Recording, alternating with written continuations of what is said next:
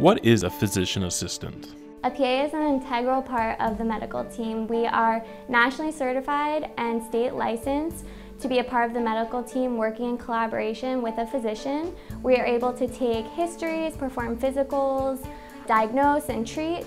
We're able to prescribe medications and also work side by side assisting in surgeries. Uh, one of the things we pride ourselves in is the relationships that we're able to form with our patients. A physician assistant is a vital part of a medical team. It is commonly assumed that a physician assistant is the assistant to a doctor and not the primary care provider. That is not the case.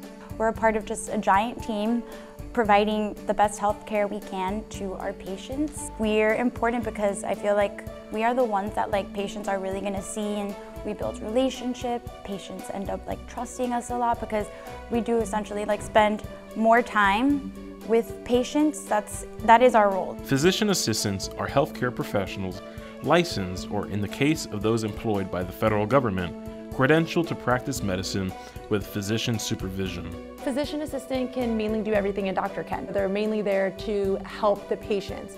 So the whole thing is that obviously everybody in the world is going to need healthcare at some point in their life. So the more physician assistants you have, the more healthcare is is available for people. They provide primary medical services such as performing examinations, ordering tests, diagnosing injuries and illnesses, administering treatment, prescribing medicine, assisting in surgery, and monitoring progress. The requirements to become a certified PA is to graduate from an accredited master's level PA program, pass the Physician Assistant National Certify exam, and obtain licensure from state medical boards. The NCCPA ranks the top five PA specialties as family medicine, surgery, internal medicine, emergency medicine, and dermatology.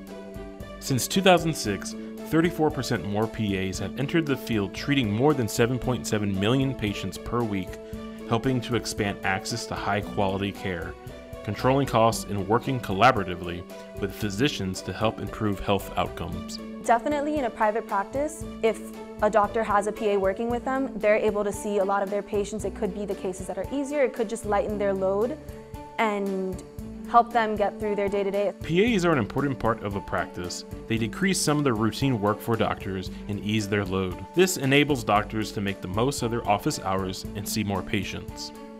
PAs at a medical practice means more people have access to medical care, more practitioners also allow patients to see their healthcare provider with reduced wait times. There's only so many doctors and the patient volume is increasing. I think as the years go on, there's way more patients than there was before. You know, PAs can come in and kind of help um, alleviate that volume. They're very instrumental to the, you know, the practice and just kind of help facilitate things going forward.